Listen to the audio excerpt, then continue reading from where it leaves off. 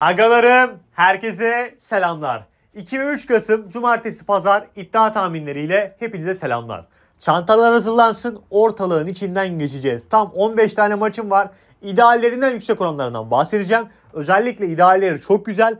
Atlamadan dinleyin. Sizler de kazan sağlayın. Sizlerden ricamızdır. Ve sizden tek isteğim aga. Şöyle artı bin beğeni ve gerçekten emeğine sağlık yorumu bizler için yeterli olacaktır. Yorum ve beğeni bırakmayı lütfen unutmayın. Gerçekten emeğe saygı sizden ricamdır. Başlayalım aga. Sıkmadan hızlı bir anlatım yapacağım. Maç, maç skor yarışmasıyla başlayalım. Bir adet maç skor yarışmam var. Trabzon Fenerbahçe. Geçen sene olaylı olmuştu. Bu sene nasıl olur? Birlikte bakalım görelim. Sizlere de skorunu sorduk. Bilen 5 kişiyi de 7 gün boyunca WhatsApp VIP gruplarımızda misafir edelim. Bu maçın ekstra oyuncu bahisleri, kart bahisleri de maç saati kadrolu açıklandığında WhatsApp VIP grubumuzda zaten olacaktır. Bunu söyleyeyim. Yorumlara yazmayı unutmayın. WhatsApp iletişim hattımız, WhatsApp VIP gruplara gelmek isteyenler, herhangi bir sorusu olanlar, bilgi almak isteyenler, hal hatır sormak isteyenler ekranda gördüğünüz 0534 446 59 89 numaralı hattan iletişim kurabilir. Açıklama ve yorumlarda linki var. Tek tıkla iletişim kurabilirsiniz. Ana kuponlar inanılmaz bir seri var. Gerçekten çok güzel kazanç elde edenler var burada. Dün Cuma'nın ana kombinesi yine geldi aga. Nasıl geldi? Servet'le mücadelesine 2.5 üst aldık. Tertemiz geldi ve ilk yarı 1-1 bitti. İkinci yarıda 2 gol 2-2 bitti. Lazio mücadelesinde Lazio'nun bir yarı kazananını aldım. Aga nesine de pardon iddiada bunun oranı 2.46. Avrupa'da 3 oranı vardı bunun. Tertemiz geldi. Kazanç sağlayan herkese bereketli olsun. Özellikle WhatsApp VIP grubundaki arkadaşlar da yorum bıraksın. Hafta sonu mislilerde coşacağız. Gerçekten çok sağlam mislerim var. Misli seviyesi şu şekilde. Yüksek oynayanlar varsa 3000, 5000 hatta cumartesi bir 15-20 bin almayı düşünüyorum aga. Yani o seviyelerde oynayan varsa misli seviyesine gelsin. Sadece maç önü değil canlı olarak da. Cumartesi ekranda olduğumuz ve cumartesi pazar ekranda olduğumuz için örnek ilk yarı 0.5 üst. Çok banko geliyor aga. Maç yanıyor. At diyorum aga 3000 TL bas diyorum. O şekilde bir yönetim var. İdeal kuponlarımız da aynı şekilde devam ediyor. Hem ideal kuponlarımız hem alternatif kombinlerimiz ve yüksek oran kombinlerimiz de oluyor hafta sonu. WhatsApp VIP'de canlı olarak zaten izlemiş olduğumuz karşılaşmalardan en iyi şekilde ilerliyoruz. Güzel kazanç da sağlıyoruz. Bunun bilgisini vereyim. Herkes açık Telegram grubu var aga. Açıklama ve yorumlar kısmında linki var. Ben oraya cumartesiye bir adet ideal kombine vereceğim. Buraya mutlaka katılım sağlayın. Burada güzel kazanç var. Ücretsizdir. Açıklama ve yorumlarda linki var. Cumartesinin ideal kuponu da ideal kuponu da ücretsiz Telegram grubunda bilginize başlayalım. Aga dediğim gibi sizlerden artı 1000 beğeni bekliyorum. 1000 beğeni en azından bir emeğine sağlık yorumu. Derbinin maç skoruna sorduk. Yorumlara yazabilirsiniz.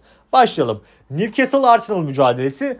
Bu maçtan tek korkum erken seans mücadele olması. Erken seansta sürprizler çıkabiliyor ama ben yani en idealini almaya çalıştım. Gerçekten güzel de kazanç sağlayacağız bence. Arkadaşlar ben burada Arsenal tarafındayım. Bournemouth mağlubiyeti. Ardına Liverpool'la berabere kalma. iki, iki, iki kere öne geçmesine rağmen. Kadroda e, toparlandı. Sakatlar geri dönüyor. Califiori bu maçta olmayacak. Saka vesaire olacak bu maçta. Arsenal tarafı burada neredeyse tam kadroya yakın bir kadro olacak. Hafta içinde iki takım da kupa mücadelesi oynadı. Preston'ı zaten rahat geçen bir Arsenal. Chelsea'ye karşı da çok iyi oynayan bir Newcastle vardı. Ama lig zirve yarışından uzaklaşan bir Arsenal var. Erken seans maçı da olsa ben burada Arsenal tarafındayım. Sağlam almak isteyenler varsa aga idealden deplasman bir yarıyı kazanır alsın. İddiada bir 40 küsur oranı var zaten bunun. Avrupa'da bir 50'ye yakın. Arsenal'ın ben bir yarıyı kazanmasını bekliyorum. Bu benim en ideal tercihim. Onun dışında Burada mücadelede ben bir Matsun 2 olmasını da bekliyorum. Bir Arsenal galibiyeti de yakışır gibi geliyor. Skorum da doğrudan 2-1. Newcastle'ın gol bulma ihtimali var. 2-1 skor bu maça tam uygun diye düşünüyorum.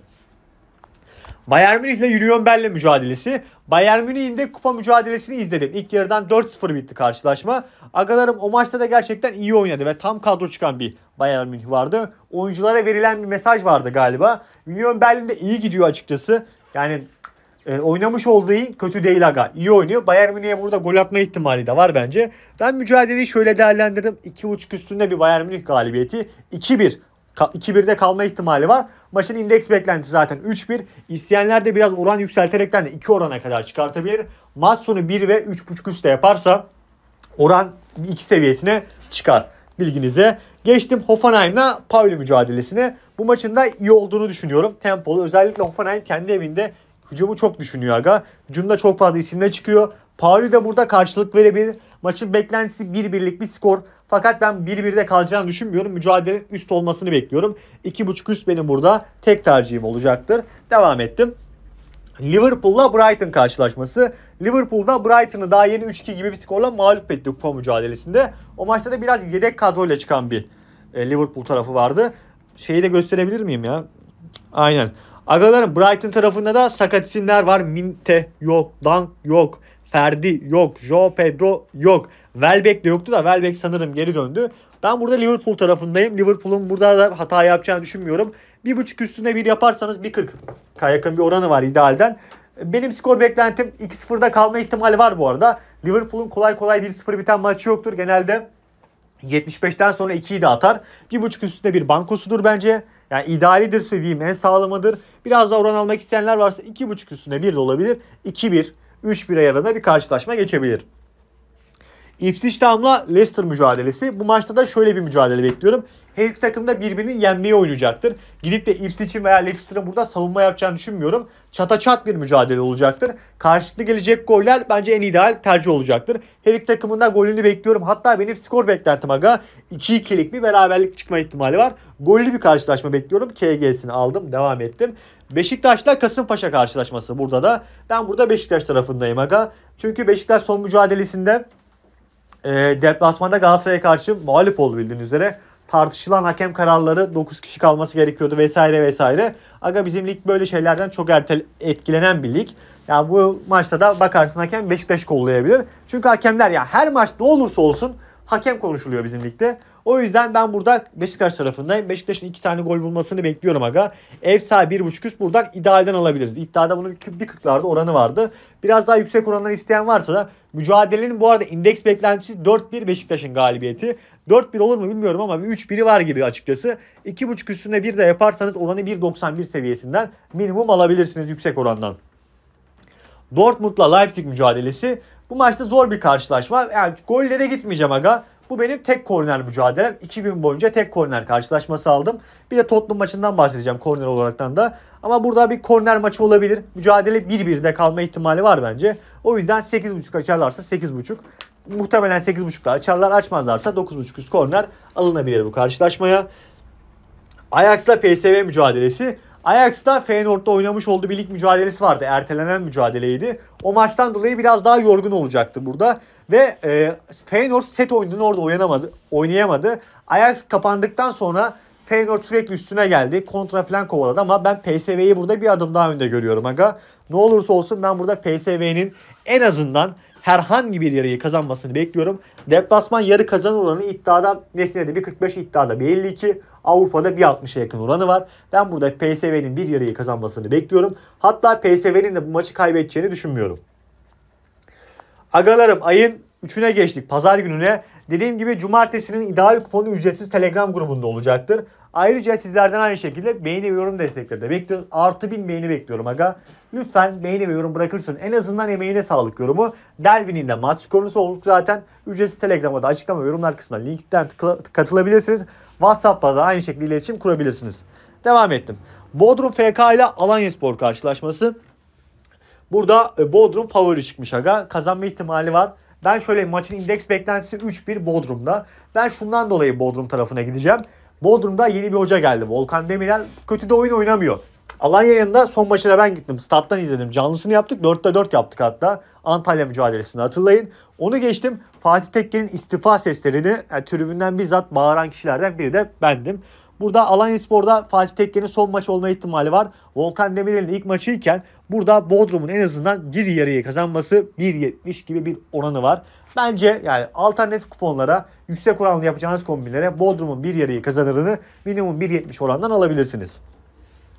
Tottenham Aston Villa mücadelesi. Tottenham gerçekten başarılı bir şekilde gidiyor. Yani oynamış olduğu oyun başarılı. Ne kadar bazen sonuçlara yansımasa da e, yine burada Aston Villa'ya karşı üstün gelmeye çalışacaktır. Fakat sakat isimler özellikle son mücadelede bir, e, bir sürü isim sakatlandı. 3-4 tane hatta derin Galatasaray vesaire de diyorlar. Galatasaray'la da mücadelesi var Tottenham'ın.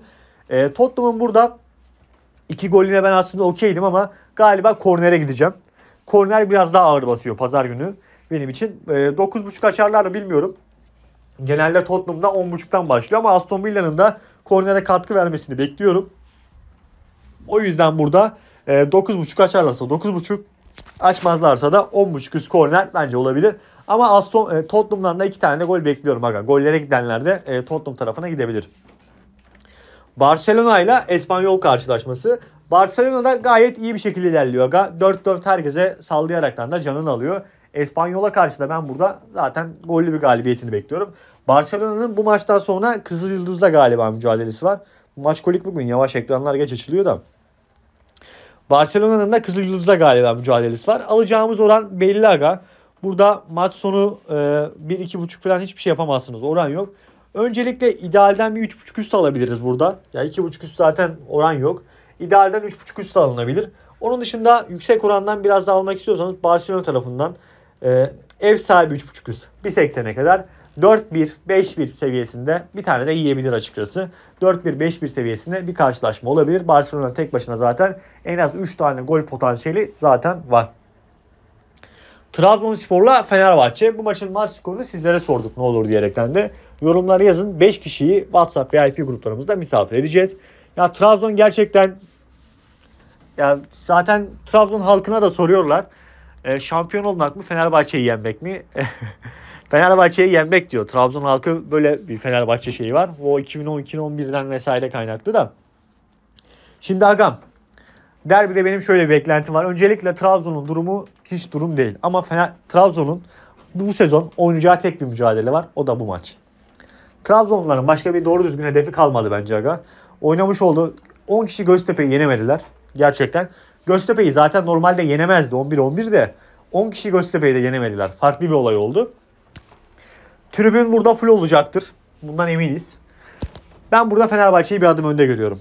Bak en sağlamından risklisine kadar söylüyorum. Öncelikle Fenerbahçe bir yarıyı kazanır. Avrupa'da varsa Fenerbahçe'nin bir yarıyı galibiyetini alın. Avrupa'da bir 40 falan oranı var. İddiada bunun bir 1.27 burada oranı var. İddiada bir 35 falan oranı vardır.